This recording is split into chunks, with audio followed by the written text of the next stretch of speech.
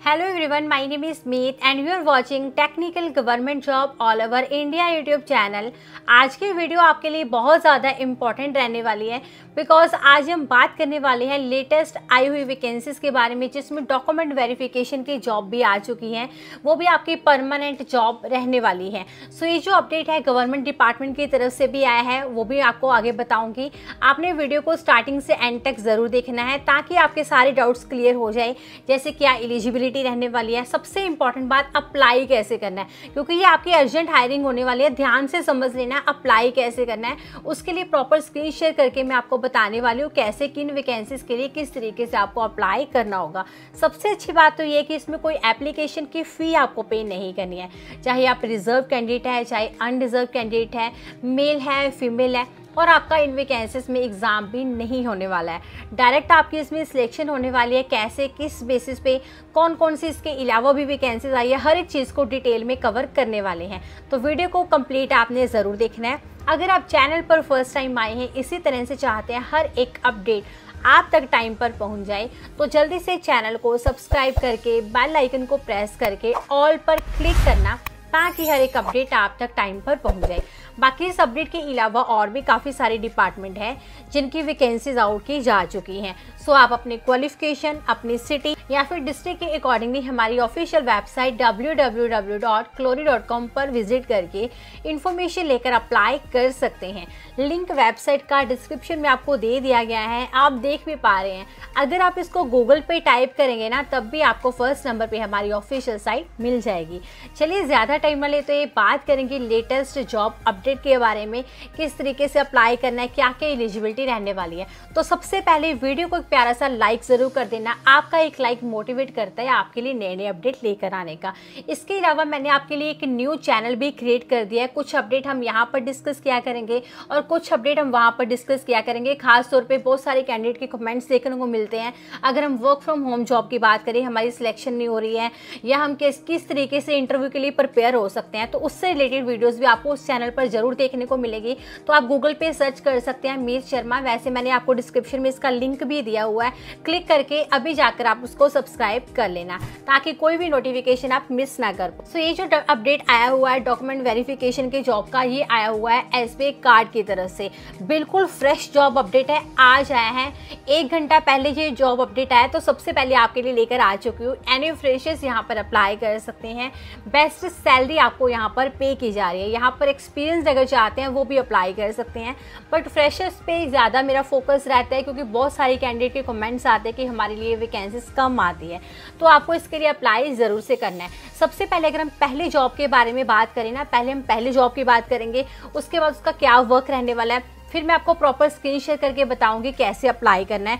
उसके बाद second job update हम डिस्कस करेंगे, वो भी बहुत बढ़िया जॉब अपडेट है।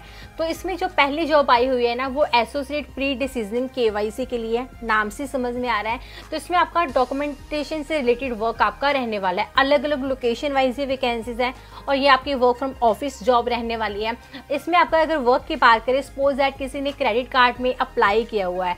तो आपको क्या करना है, उनकी के करनी है। मतलब उन्होंने जो डॉक्यूमेंट प्रोवाइड किए हैं, क्या वो एक्यूरेट है? मतलब क्या उसमें कोई कमी तो नहीं है या कुछ गलत तो नहीं है या कुछ, कोई चीज़ बुलर तो नहीं है?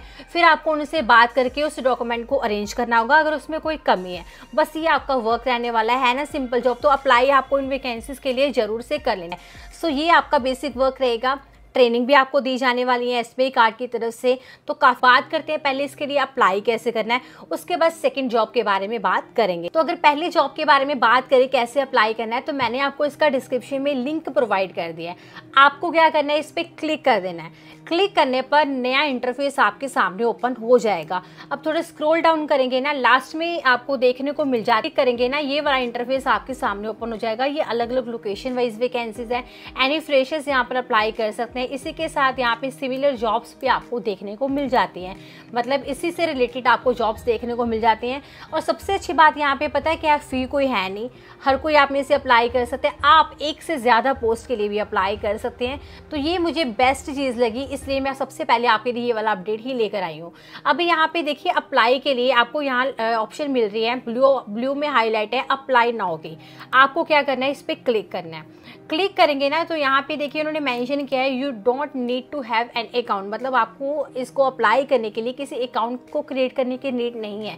अब यहाँ पे देखिए, आपको क्या करना है? ईमेल आईडी अपने यहाँ पे मेंशन करनी होगी।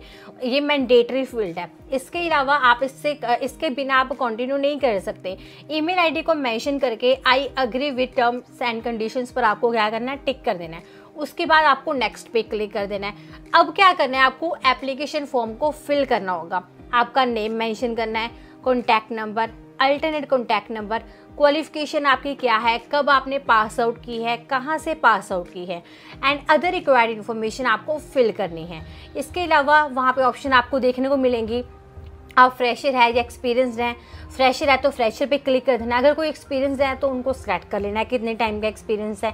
और अगर कहीं पे वर्किंग है तो आपको नोटिस पीरियड वहाँ पे सिलेक्ट करना होगा कितने टाइम का आपने दिया हुआ है। बस सबमिट कर देना लास्ट में। इसी तरीके से अप्लाई करेंगे ना कोई प्रॉब्लम आपको इसमें नहीं आने वाली है। सो so, जो जो स्टेप मैंने आपको अभी बताए हैं ना इन्हीं स्टेप को फॉलो करते हुए आपको अप्लाई करना है तो कोई प्रॉब्लम आपको नहीं आने वाली है। अगर हम पहले वाले जॉब के लिए एलिजिबिलिटी की बात करें तो यहाँ पर इन्होंने क्लियरली मैंशन किया है ज़ीरो से वन ईयर का एक्सपीरियंस रिक्वायर्ड है। Zero means as a fresher आप अप्लाई कर सकते हैं। अगर कोई ऐसे कैंडिडेट है जिनको वन ईयर तक का एक्सपीरियंस है, वो भी यहाँ पर अप्लाई कर ही सकते हैं। ऐसा भी नहीं है कि के में ही हो। किसी में भी है तो आप अप्लाई कर देना। आपको सैलरी हाइक मिल जाते हैं, ये बेनिफिट मिल जाता है, ठीक है?